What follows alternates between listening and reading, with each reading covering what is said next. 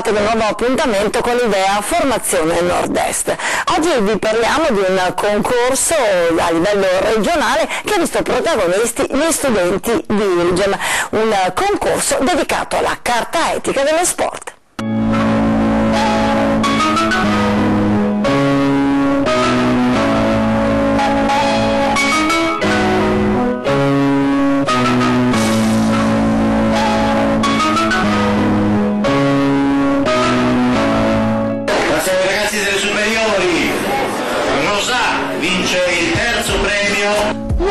Importante riconoscimento per l'ente di formazione Irigem di Rosà, premiato a Verona nell'ambito del concorso Disegna a fumetti la carta etica dello sport, indetto dall'assessorato allo sport della regione del Veneto, l'UMPLI, Comitato regionale delle Proloco, e l'ufficio scolastico regionale del MIUR.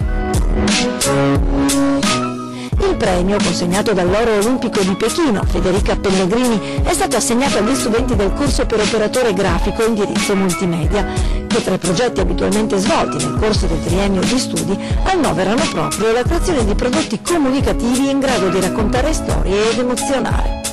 Per questa ragione dunque il concorso è piaciuto fin dall'inizio ai ragazzi di Irigem e il lavoro realizzato in classe è piaciuto anche alla commissione del premio regionale che ha scelto l'elaborato realizzato da Rosita, Nicola, Nicolò e Valid con la seguente motivazione per l'elevato livello tecnico e artistico delle storie a fumetti, che evidenzia una padronanza del linguaggio grafico finalizzato al racconto della carta etica.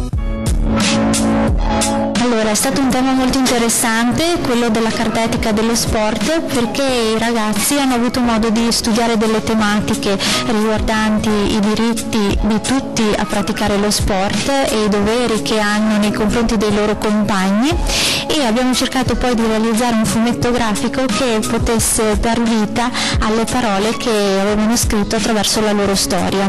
Hanno quindi ideato un racconto, scelto i personaggi, partendo da uno storyboard e un bozzetto manuale fino alla vera realizzazione computer eh, dell'intero fumetto.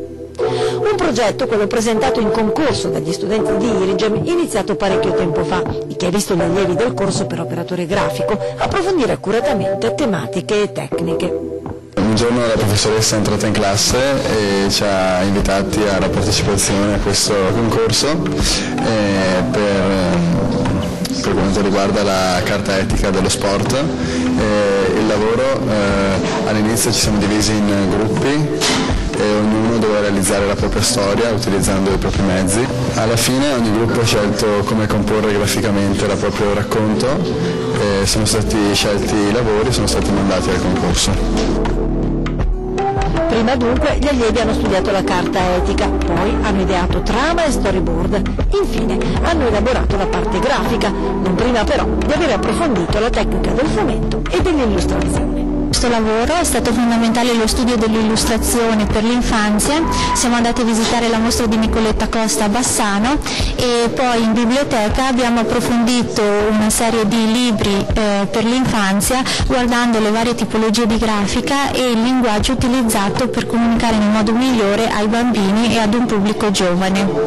Il punto di partenza, come detto, è stata la lettura della carta etica dello sport e tra i suoi articoli la scelta degli studenti di Irigem è ricaduta caduta sull'articolo 2, incentrato sul diritto di tutti a praticare lo sport secondo le proprie aspirazioni e capacità, senza alcuna distinzione d'età, sesso, nazionalità, lingua, religione, opinione, politiche, condizioni personali e sociali. Il mio gruppo ha scelto l'articolo 2 perché comunque si tratta del, dell'immaginazione e comunque lo sport è per tutti, quindi è giusto che tutti abbiano la possibilità di fare sport e quindi anche abbiamo trovato interessante anche eh, usare oltre all'immaginazione temi come il bullismo. Dal bar al ring, il titolo del racconto illustrato dai ragazzi.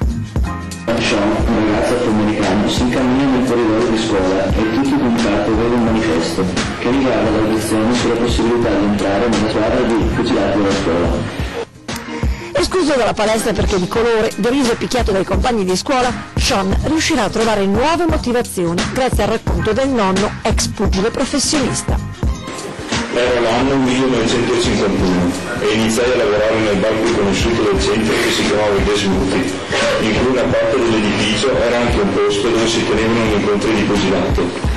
Io inizialmente volevo lavorare lì come pugile, ma il proprietario decise di farmi lavorare come barista. Lavoravo tutto il giorno, ma di notte mi allenavo per poter diventare più forte e per diventare un pugile professionista. Un giorno incontrai un uomo che mi disse che sapeva che mi allenavo e mi offrì la possibilità di entrare a far parte un team di pugilato in cui potevo allenarmi. Arrivato nel team, conobbi tre persone bianche con cui credevo di stringere amicizia e con cui allenarmi. Ma alla fine si rivelarono anche loro dei sporchi traditori e per ben due anni mi bullizzarono. Un giorno mi ribellai a loro e li sfidai in un incontro. In quel giorno li feci a pezzi e vinsi il match. Il mio vecchio datore di lavoro, vedendo le mie capacità, decise di farmi lavorare come pugile. E lavorai con lui per ben vent'anni. Ed ora eccoci qua, in questo bar che rappresenta quello che sono e quello che ho fatto. Il racconto del nonno convince Sean a presentarsi nuovamente in palestra per persuadere i giudici del proprio talento. Il giorno dopo a scuola Sean, molto convinto con molta carica, decide di rifare l'audizione. Dimostrò ai giudici che non si, deve giudicare dalle apparenze, ma per le capacità di ognuno. Al di là del premio ottenuto, per gli studenti di Eurigem la partecipazione stessa al concorso si è rivelata un'importante lezione di vita, un'occasione per conoscere ed approfondire temi come il razzismo, il bullismo, ma anche il rispetto del prossimo e il diritto di praticare lo sport secondo le proprie capacità tutti i temi più volte ricordati anche sul palco del Teatro Stimato di Verona, che ha visto la presenza di numerose autorità, ad iniziare dall'assessore allo sport Cristiano Corazzai molto spesso oltre ad essere fonte di agonismo criticità, appunto si diceva prima i genitori, gli stadi, eh, tutto ciò che gira intorno allo sport. Noi invece pensiamo che lo sport sia un veicolo formidabile di crescita delle nostre comunità, di non solo formazione, ma di, di formazione non solo della comunità ma anche del cittadino, perché attraverso lo sport si trasmettono dei valori sani che sono quelli che sono della nostra Carta Costituzionale che sono la base del nostro contratto sociale che è il motivo per cui stiamo assieme. Non c'è dubbio dunque che quella veronese sia stata per gli studenti di Irigem un'esperienza unica. A premiarli infatti è arrivata niente meno che Federica Pellegrini, un simbolo dello sport italiano che i ragazzi avevano visto sempre solamente in tv. E proprio la campionessa olimpica, dopo essersi congratulata con gli studenti dell'ente rosatese per la qualità del proprio elaborato, ha voluto rivolgersi ai ragazzi appassionati di sport per dare loro un consiglio. Beh, di farlo se c'è una passione alle spalle, comunque di farlo a prescindere perché comunque lo sport fa bene e questo. Spero che insomma tanti facciano sport sempre di più.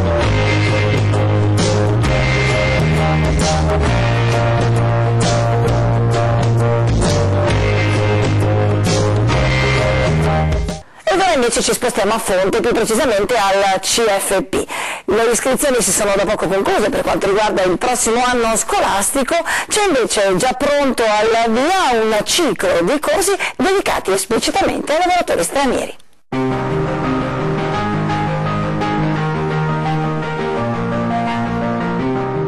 Acquisire nuove competenze per collocarsi degnamente nel mondo del lavoro. È l'opportunità che viene offerta a 29 cittadini immigrati, destinatari di tre diversi corsi organizzati dal CFP di Fonte. L'iniziativa nasce sulla scia del progetto Liberi di partire, liberi di restare, finanziato dalla Conferenza Episcopale Italiana tramite la Caritas Italiana di Treviso e si inserisce perfettamente nelle finalità stesse della scuola di Fonte quella di essere una scuola per le persone che hanno bisogno di qualificarsi. All'inizio, nei primi anni 50, erano i ragazzi eh, italiani che eh, partivano per l'estero per cercare una eh, sorta di, di, riscatto. Adesso sono ragazzi stranieri che approdano, se trovano porti aperti alle nostre città, ai nostri paesi per eh, dare dignità alla loro vita e alla loro famiglia. 20.000 euro la cifra investita nell'iniziativa, interamente finanziata dal Vescovo di Treviso, Monsignor Gianfranco Agostino Gardin. I corsi, gratuiti per chi vi partecipa, prevedono 100 ore di lezione ed altrettante di stage. Per gli uomini sono previsti un corso di saldatura e uno di operatore elettrico civile, per le donne un unico corso in cui imparare cucito, cucina ed igiene. Quello che noi cerchiamo di fare è eh, quindi inserirli nel mondo del lavoro, però attraverso un percorso formativo che possa ehm, creare appunto sia relazioni con l'esterno, nel senso che comunque poi loro dopo questo corso di formazione avranno un periodo di stage eh, in cui verranno inseriti appunto in contesti eh, locali e ehm, verrà rinforzato anche l'italiano però ad uso lavorativo, quindi verranno utilizzati termini ehm, propri del lavoro che andranno a svolgere e quindi ehm, risulterà anche più, più, facile poi per loro continuare a, a lavorare una volta magari usciti dal centro. Un'opportunità importante insomma per chi cerca di inserirsi in una nuova realtà. Parte ecco, c'è questo discorso di tessere una rete sempre più eh, positiva, non solo per gli immigrati, ma proprio per un lavoro che possa essere a vantaggio di tutti. Dall'altra offrire veramente percorsi di integrazione attraverso la formazione professionale e l'inserimento lavorativo.